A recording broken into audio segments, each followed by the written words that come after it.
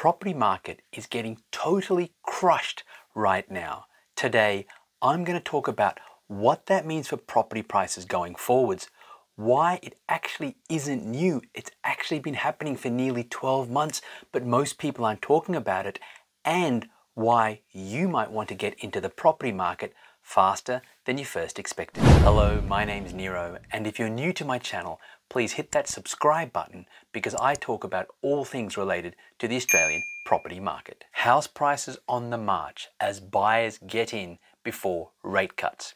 House prices are on the march again as a bumper auction weekend showed there is strong underlying demand for housing, especially in Sydney, Brisbane, Perth and Adelaide. Based on its rolling monthly index, CoreLogic head of research Tim Lawless said capital city house prices were on track to rise another 0.6% in March. Now that's the average of our capital cities. Some of our capital cities are falling, others are rising way more than 0.6% per month. This would be the second consecutive month of strong house price growth after values rose 0.6% last month, the fastest rate in five months. So not only are house prices rising, but the rate at which they're growing is actually increasing. Highlighting the depth of demand, Sydney's preliminary auction clearance rate increased to 75.9%.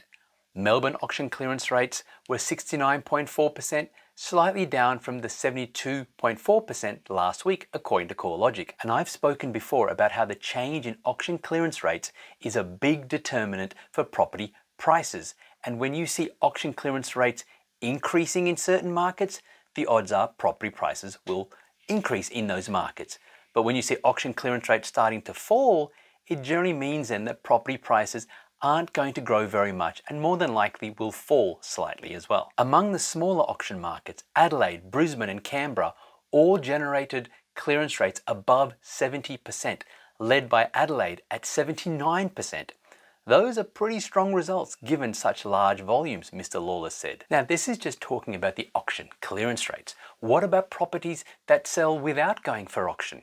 For example, we were recently looking at a property for a client in Adelaide, and we didn't end up making an offer because there were 80 written offers placed on that property. That's right, 8-0. Now, if you think that's an outlier, I recently looked at a property in Sydney where there were 250 offers made on that property. In Perth, we regularly see 20 to 50 offers made on one single property. In multiple regional markets, we're seeing dozens of offers made on a single property. And yet what's amazing is that most people are totally unaware of how strong the property market is most people are still waiting to see if now is the right time to buy. As you can see on the dwelling prices and time to buy index, the light orange line, time to buy a dwelling, is actually sitting at record lows compared to the last 30 years. What happens when that line starts to go back up again? What happens when more people start to realize how strong the property market is? What will it take for that to happen?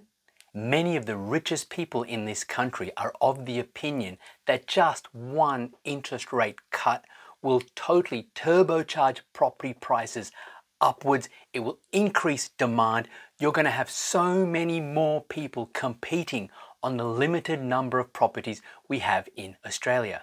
It really is like a property hunger games, but it's not always the person who offers the most that gets the property. It often comes down to terms, and that's where we're able to really negotiate great deals for clients. But the other thing is, if you're an investor and you're trying to work out what the right price is to pay for a property, what are you going to do? Well, you're probably going to look at some of the free websites out there to see what similar properties sold for. Now, that's the first problem because on these websites, when it says that a property sold on a particular date, that's generally when it's settled or when the real estate agent updated the listing to stay sold. Odds are the property sold two to three months beforehand. And in some of these markets, two to three months could easily mean a price movement of twenty to thirty thousand dollars. So that's why so many do-it-yourself investors are missing out. But then some of the more advanced investors will use some high-end tools where they pay a subscription service to get the computer to work out how much property prices are worth. Yet look how wrong some of these have been. Here's a property that is listed on CoreLogic and CoreLogic said it was valued for $385,000. Now, what do you think most investors will do when they see CoreLogic value this property at $385,000? Well, they're going to try and get it for say $375,000 because they want to get it under market value. But what did this property actually sell for? Well, there were multiple offers over $465,000 and the property ended up selling for $475,000. That's $90,000 above what CoreLogic said the property was valued at. Or here's another property that CoreLogic said would be worth $385,000. Yet there were over a dozen offers starting at $550,000 and above. This is a live deal right now and the final price has not been confirmed. But what's my point here? So many do-it-yourself investors are constantly missing out despite them doing all the research they possibly can because they're unable to work out what the actual value of a property is. The only way you can do it is by constantly calling up agents, tracking the market and seeing what properties are selling for right now. It's no wonder we have so many clients who have done all sorts of courses out there online and done what those courses have told them to do. And all they've found is that they've kept missing out on properties. The market continues to rise and they're falling further and further behind. Don't let this be you. Make sure you're doing your due diligence correctly or getting the right professional help. But what I'm sharing with you isn't new.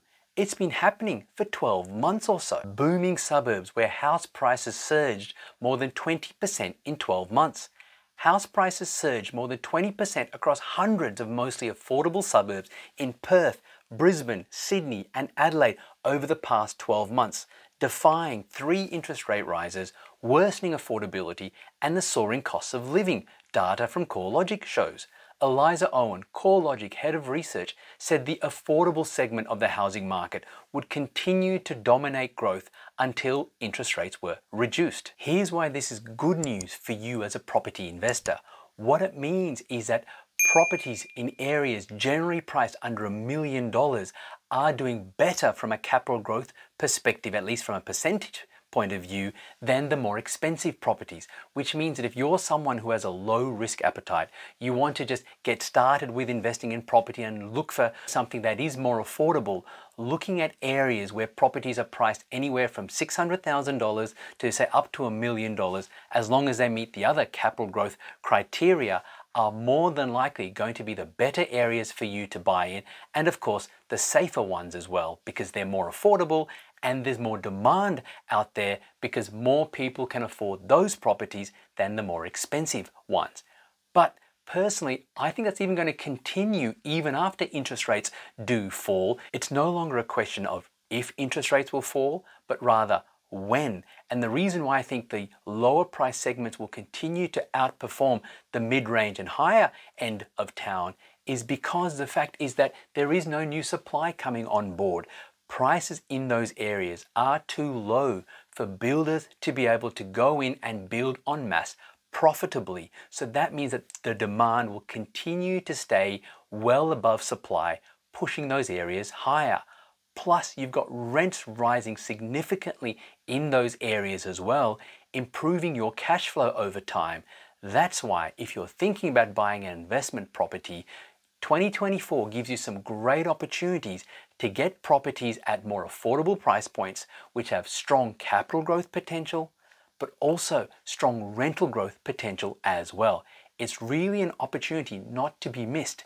And if you want to work out how do you find these areas that give you this great capital growth potential and rental growth as well, check out the link in the description below to get totally for free the digital and audio version of my book. It's a full property investing blueprint based on my now 22 years of investing experience. Otherwise, I'll see you next time.